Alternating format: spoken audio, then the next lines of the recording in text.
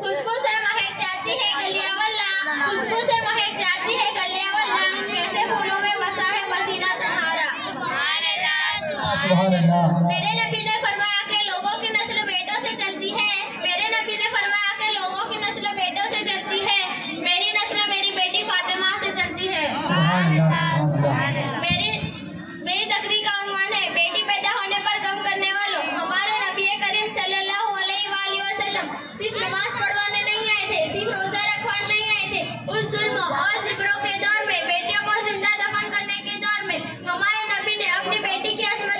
और अपनी बेटी की अजमत अपने तौर पे करके दिखाई।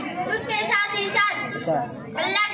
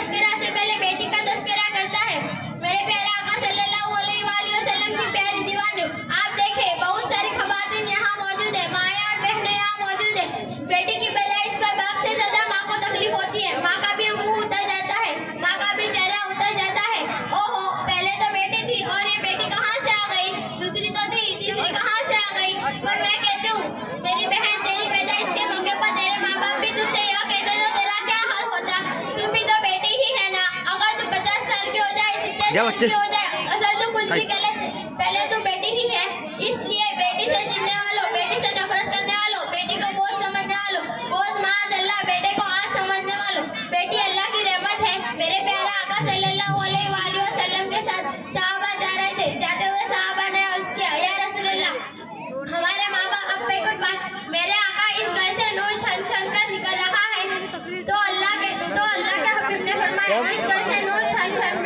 निकल रहा है।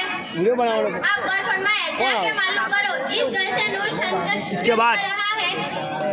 या तो किसी बेटी की इलाजत हुई होगी या तो किसी यतीम की परवरिश हुई होगी। आप गौर फरमाए ये बेटे की इलाजत में नहीं बेटी की इलाजत में बेटा ज़्यादा से ज़्यादा दुनिया की दौलत कमा सकता है। बेटा ज़्यादा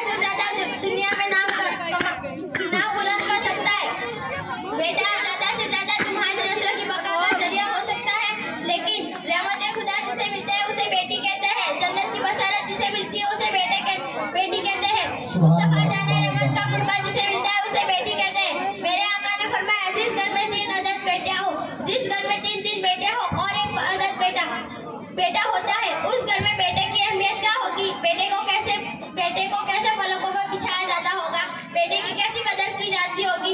अल्लाह अकबर, मेरे आका फरमाते हैं, जिस घर में तीन अदद बेटियाँ हो और एक अदद बेटा तो आप सफ़र में जाओ। तो सफ़र से वापस आने तक कोई तोहफा लाओ तो पहले बेटे को मत देना, पहले तोहफा बेटियों को देना, क्योंकि बेटियों का दिल बड़ा नाजुक होता है, उनका दिल टूट जाएगा मेरे आका मेरे नबी ने फरमाया बे- बेटियों को बेटे जो अपनी बेटी के दिल को तकलीफ़ पहुंचाता है उसने मुझ मोहम्मद के दिल को तकलीफ़ पहुँचाया। अल्लाह अकबर।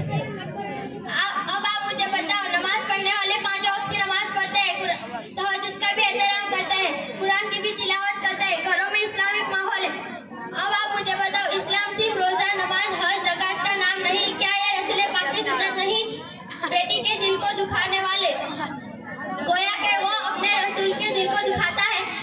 अपनी तकलीफ़ को खत्म करते हुए कहती हूँ कि बेटी और बेटियों में फ़र्क न करे और अल्लाह तबारक व से दुआ करती हूँ कि हर मोमिन मुसलमानों को बेटियों की अच्छे से परवरिश करने की नेक तौफीक अता फरमाए और मदरसा हनफिया में पढ़ने वाले बच्चों उस्तादों पढ़ाने वाले उस्तादों और कमेटी मेंबर को उनकी उनकी उम्र में बरकत अता फरमाए। आमीन।